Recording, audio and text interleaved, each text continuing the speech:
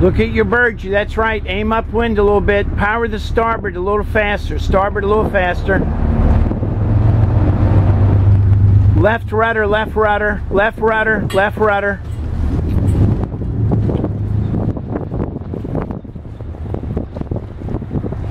Okay, look at your depth gauge. Make sure we got good water. Under keel, okay.